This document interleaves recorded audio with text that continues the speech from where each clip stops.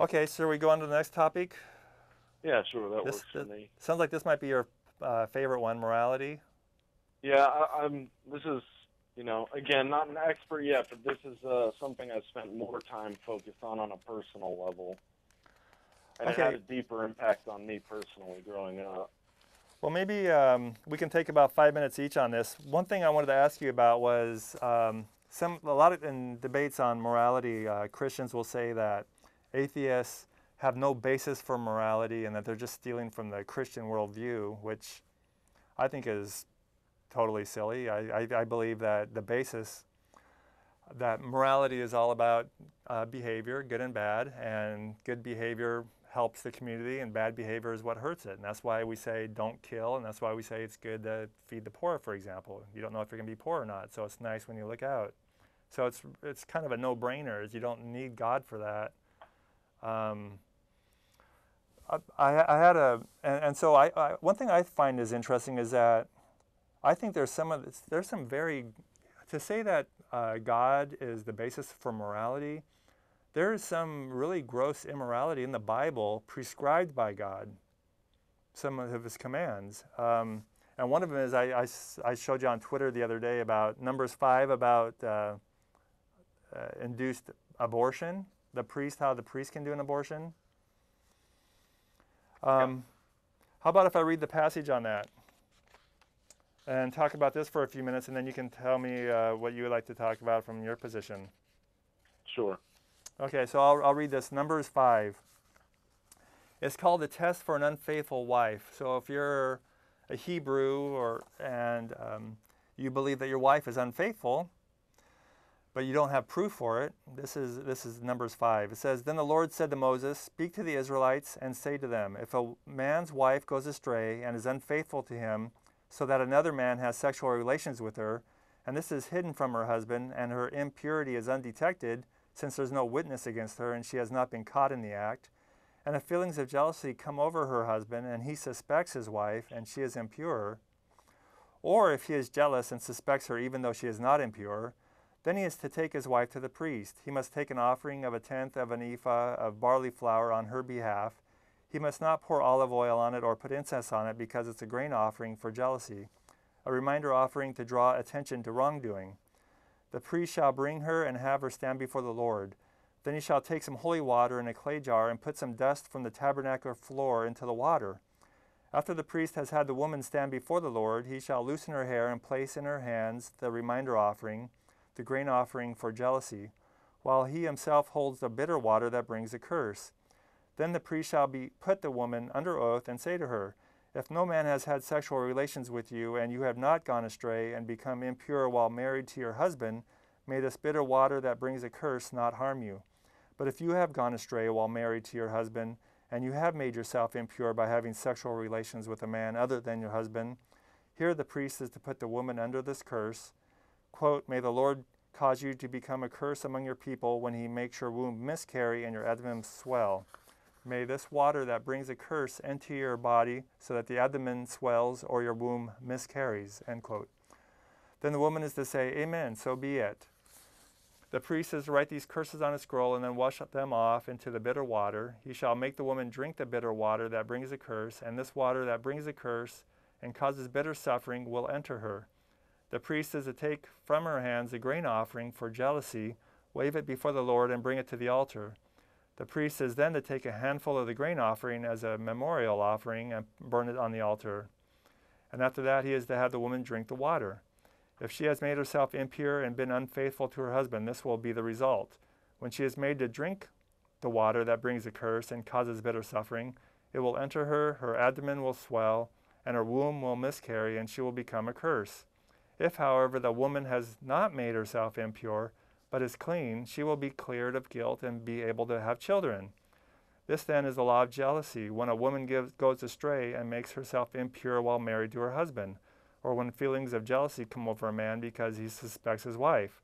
The priest is to have her stand before the Lord and to apply this entire law to her. The husband will be innocent of any wrongdoing, but the woman will bear the consequences of her sin. So, I mean, the, the weird thing there is that a lot of Christians, especially Catholics, who are the biggest denomination by far of Christians, would say that you know abortion is sinful under any circumstance, and here the priest is actually seems like the priest is actually doing it in the case of a a guy suspecting his wife. You know, basically, it's called the test for an unfaithful wife if the husband is jealous. So, what do you think Yeah. about that? Well, I think there's a lot of things. For one, uh, again, you could spend a lifetime just going through each and every thing in the Old Testament. But uh, as to this specific one, uh, you're reading out of a very specific uh, interpretation or, or translation, as it were, of that scripture, which uses the word miscarry, which is not used in other versions. And it's also there's no other mention other than the word miscarry. There's no mention of her being pregnant. So jumping into that being an abortion is, a, to me, a bit of a stretch to claim that. So, are you So, saying uh, are you so are you saying that's a bad translation? There should be a better way to translate it. I would say so, yes. So, what would be a better way to translate it? Well, I'm not a uh, a translator, so I'd have to go back in. But that's the general. Con- when I went through and started looking at that to answer your question, that was the general consensus. Was that was one specific translation in the 2011 NIV, but that the rest of them aren't. There's maybe like one other one that translated it that way. So, but in any case, I think I think that's really looking at one very specific thing and ultimately missing the point of the claim that uh, atheists are cherry picking Christian morality. So, I mean, you, you can go through. I will, I will submit to you that there are lots of stomach churning things in the Old Testament that seem contrary to our current ethics, and I think there's probably a reason for that. Um, but but as to your broader question, I think there's maybe some other things we can talk about because I would agree that uh, ultimately atheists are borrowing from a Christian perspective, both historically and philosophically. Well, I, I mean, just yeah, we can talk about that from atheists. Um, I'll give you you know some time to talk about that, but I wanted to explore some things on this. Um, one thing is the NIV. You know, something the NIV says. You know, it talks about miscarriage, and here it says too. You know, what is the NIV? And it was a, a you know, it's a it's a big it was a big translation thing. There was fif, um, 15 Bible scholars using Hebrew, Aramaic, Greek text whose goal was to produce a more modern English version text than the King James version. And so they try to use more modern language. And if you look at the other But versions it's also for not a word for word translation. It's a thought for thought translation. So Well, like not for- necessarily even getting uh, uh, the original. I mean, you're, you're trying to translate it into English out of the Hebrew, and they're not. It's not going word for word. Mm-hmm. Right, right. Yeah, that's what I was to say. Like, for example, the New Revised Standard Version, it says, on verse 22, it says, Now may this water that brings a curse enter your bowels and make your womb discharge, your uterus drop, and the woman shall say, Amen. There's another translation Yeah. called God's Word, and this one says, um, May your stomach swell and your uterus drop. And I, you know, I thought, what does uterus drop mean? And so I looked on the internet, and what happens is this is actually kind of a rare case, but it happens frequently for a rare case, I guess, is that a woman's uterus can actually fall out because there's muscles holding it in and, and they're, they're weak. And they say now there's a surgery where you can tack it up again. Um, so this is saying basically the uterus is going to fall out. And then how do Yeah, those? again, but how that do those- doesn't well- mean that she was pregnant. Well, if she, if her husband suspects she was fooling around, and um, this curse goes through, if she was impregnated, she's that's only going to be abortion right there. If she was, Yeah, if- if she was. that she was pregnant. Yeah, but it but we the, the, the whole the whole point though is that she was fooling around. They think. Well, the other thing I wanted to say too is that all these other translations they all talk about thigh. They say instead of like your u- uterus drop, they'll say your thigh to rot, your thigh to rot. Well, what what can thigh to rot mean? And they say this this this basically is kind of a euphemism. This thigh. I mean, sometimes in the Bible it's translated as uh, loins.